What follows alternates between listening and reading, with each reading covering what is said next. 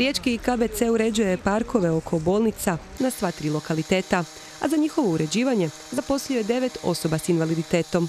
Obrezivanje grmova, rezanje trave, čišćenje tla. Samo je dio posla kojega ovi marljivi zaposlenici obavljaju.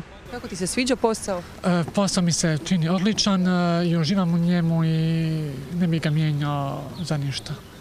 Kolege? Kolege su mi odlične, šefovi super, e, ma sve mi je fantastično.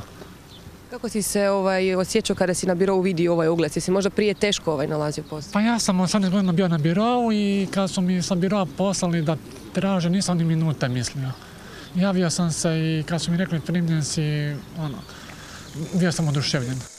Oduševljen je i njegov kolega, koji poput Filipa godinama nije mogao naći posao. Tri i pol godine nisam radio, e, nisam se imao gdje zaposliti, bio sam prijavljen na zavodu za zapošljavanje. Kako se sad osjećaš? Napokon si našao posao. Pa hvala Bogu, evo, na, na poslu mi je super, odlično, ne može bolje biti. Hvala, hvala Bogu da mi omogućilo ovaj posao. Usprko svojim fizičkim ili intelektualnim teškoćama, novi zaposlenici Riječkog KBC-a pokazali su se kao odlični radnici na poslovima uređenja i održavanja parkova. U početku sam bio skeptičan oko toga, oko zaposlenja osoba sa invaliditetom. Već prvog dana sam se posramio mm, pred svojom odlukom, pred njihovim radom i njihovom dobrotom. Divni su dečki, e, dečki jako puno rade, iznenađujuće jako puno i preporučio bi svakome, znači poslodavcu, e, osobe sa invaliditetom. Riječki KBC uređuje postojeće zelene površine oko bolnica, a u planu je u suradnji s trgovačkim društvom Rijeka 2020 napraviti terapeutski vrt na lokalitetu Rijeka.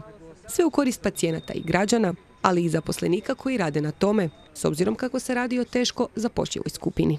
S obzirom da je naša profesija e, u- svojoj biti ima pomaganje ljudima i socijalnu osjetljivost, mi smo se za izbor djelatnika koji bi, e, nam pomogli u održavanju zelenih površina odlučili e, posjetiti Zavod za zapošljavanje i vidjeti kako oni stoje sa ljudima koji, su teško zaposljivi, odnosno koji su eto, osobe sa posebnim potrebama ili sa nekakvim fizičkim ograničenjima.